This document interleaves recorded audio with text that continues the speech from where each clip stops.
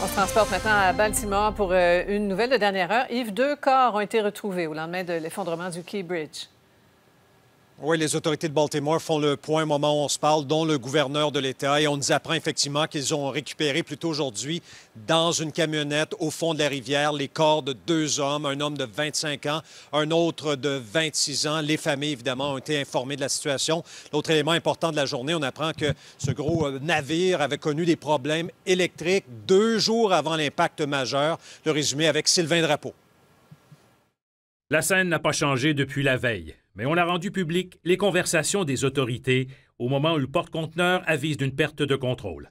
Aussitôt, les autorités de transport du Maryland demandent l'arrêt de la circulation.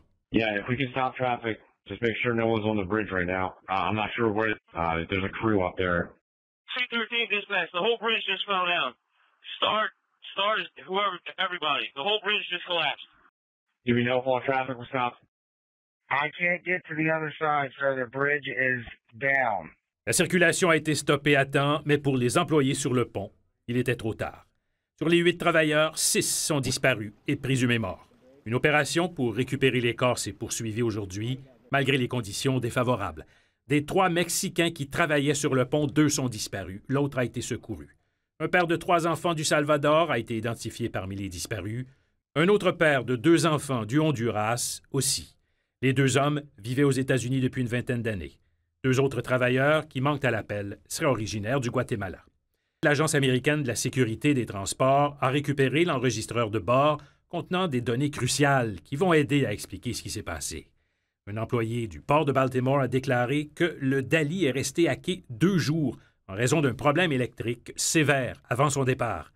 Maintenant, il faut faire vite, dit le gouverneur du Maryland. It is imperative that we get this bridge rebuilt. It's imperative that we get the Port of Baltimore back up and going.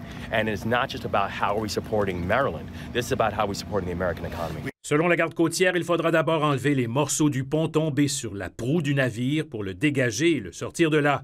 Une douzaine de conteneurs contenant des matières dangereuses sont toujours sur le navire. This is going to be a long road to recovery in terms of the infrastructure. Pour l'instant, 10 navires sont bloqués au port de Baltimore. Sylvain Drapeau, TVA Nouvelle.